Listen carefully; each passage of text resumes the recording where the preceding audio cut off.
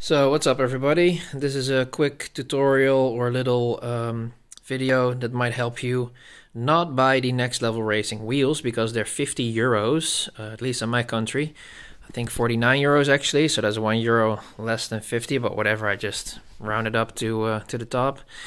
But um, I fixed those wheels uh, and they're also softer wheels because they have their wheels on the website which are hard wheels, which is not good for these floors. Um, I actually have softer wheels. They're rubber wheels. And they caster. Now, bear in mind, they don't have brakes on it, but to be quite fair, I don't think you need brakes. Because if you just roll this around to whatever place you want, you're going to sit in it and you're going to be suspended in the air because that's just what the wheels do, right? They put you a little bit higher and it's just more mobile now. Um, so yeah, what you need to do is you need to go to your Home Depot or whatever shop where you can buy do-it-yourself things, and you buy this, the M8 times 20 millimeters um, bolts, nuts and bolts, and you just grab the uh, the nut and you twist it onto the bolt. You grab those wheels; they have a hole up top. You just put that in, turn it and grab the um, the wrench this one right here. And you're gonna keep it like that when it's like going up. You can get uh, past the wheel. It's actually very easy. I have to turn this one around.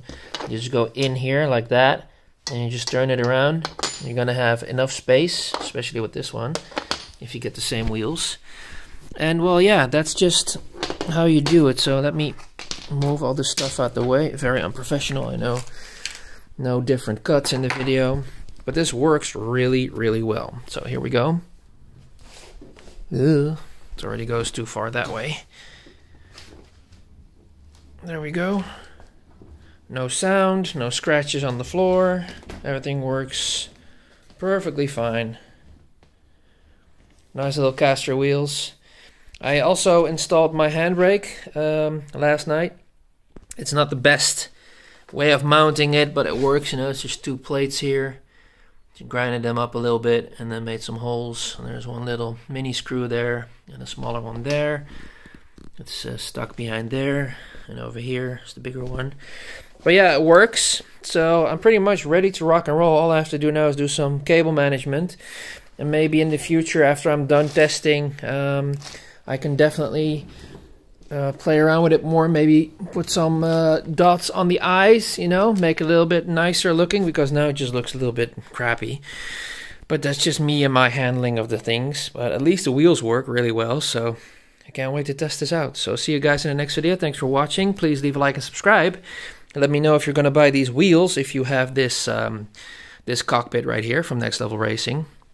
And yeah, it's going to be more than half cheaper. I bought this whole set, including those uh, nuts and bolts and the six wheels, for less than 22 euros.